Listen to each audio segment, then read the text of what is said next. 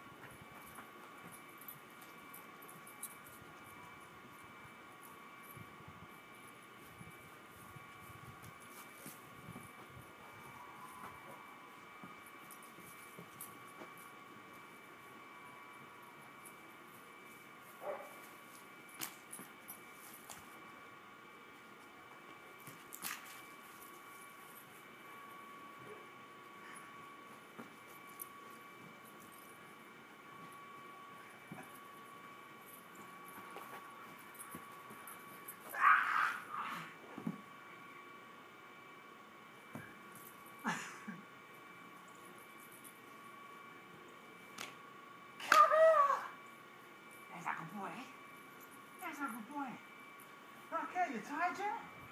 Because I'm tired.